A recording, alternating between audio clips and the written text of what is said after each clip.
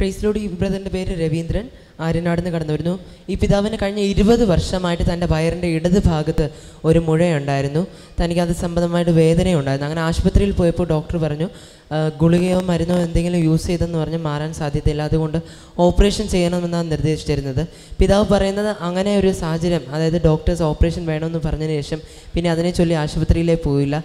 അങ്ങനെ ഇരിക്കുമ്പോഴാണ് ശലം ചർച്ചിനെ കുറിച്ച് അറിയുകയും അങ്ങനെ ആരാധനകളിൽ പങ്കെടുക്കുവാനുണ്ടായി പ്രാർത്ഥിച്ച എണ്ണയും തേനും ഉപയോഗിച്ച് അതിനുശേഷം ദൈവമായി കർത്താവ് അത്ഭുതം പ്രവർത്തിച്ചു.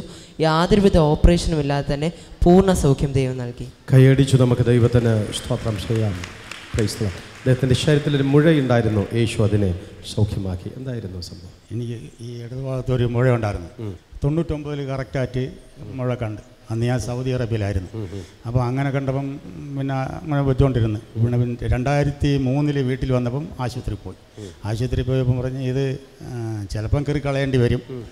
ഗുളിക കഴിക്കാമെന്ന് രണ്ട് ഗുളിയാണ് കാരക്കോണ ആശുപത്രി പിന്നെ അത് കളഞ്ഞ് അങ്ങ് കളഞ്ഞിട്ട് പോയി വീണ്ടും പോയിട്ട് തിരിച്ചു വന്ന് ഇവിടെ നെയ്യാറ്റിങ്കര പോയപ്പം പറഞ്ഞു ഇത് കീറി കളയണം ഈ അസ്ഥിയിൽ ഇതിന്റെ വേര് പിടിച്ച പ്രശ്നമാണെന്ന് പറഞ്ഞു. ഞാൻ പിന്നെ അങ്ങോട്ട് പോയില്ല. ഞാൻ ദൈവത്തോട് പ്രാർത്ഥിച്ചു. അപ്പോൾ ഞാൻ പല അത്ഭുതങ്ങളും കണ്ടിട്ടുണ്ട്. യേശു മുഴ മാറ്റം മാറ്റുന്നത് എത്രയോ രോഗികളെ സൗഖ്യമാക്കുന്നത് അപ്പോൾ ഈ ഒന്നും കഴിയാത്ത യേശു അല്ല. എല്ലാം കഴിയുന്ന ഒരു ദൈവമേ ഉള്ളൂ. ആ ഡോക്ടർ മതി എന്ന് ഞാൻ മനസ്സിൽ വിചാരിച്ചുകൊണ്ട് കാണുന്നത് അങ്ങനെയാണ് ഷാജി ബ്രദറിന്റെ ഈ അത്ഭുതങ്ങളെയായി കേൾക്കാനും അങ്ങനെ ഞങ്ങൾ ദേവദാസനെ കണ്ടു. അപ്പോൾ ഇത് ഞാൻ പറഞ്ഞു എനിക്ക് ഇങ്ങനെ ഒരു മുഴയുണ്ട് എന്ന് പറഞ്ഞ് പ്രാർത്ഥിച്ച് കൈ വെച്ച് പ്രാർത്ഥിച്ച് തേനും കഴിച്ച്.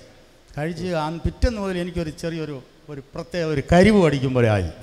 ഞാൻ ഇതുവരെ ഇതൊരു എന്റെ ഭാര്യയോട് പറഞ്ഞു ഇങ്ങനെയാണല്ലോ കുറവ് വന്നിട്ടുണ്ട്. അപ്പോൾ തടയിട്ട് പറഞ്ഞു അത്ഭുതമാണല്ലോ കണ്ടക്കിനെന്ന് പറഞ്ഞു. അപ്പോൾ ഇത്രയായിട്ട് ഇവിടെ മുഴച്ച് വന്നിരുന്നു. അങ്ങ് മാറ്റി. കഥാവ് അദ്ദേഹത്തെ സൗഖ്യമാക്കി കൈയടിച്ച് നമുക്ക് ദൈവത്തിന് സ്തോത്രം ചെയ്യാം. ദൈവം ജാതിയും മതവും നോക്കാതെ വർഗം നോക്കാതെ അനേകരെ സൗഖ്യമാക്കുന്നു എന്നുള്ളതിന്റെ ഒരു ഉത്തമ സാക്ഷ്യം കൂടെയാണ് നമുക്കിവിടെ കേൾക്കുവാനായി കഴിഞ്ഞത്.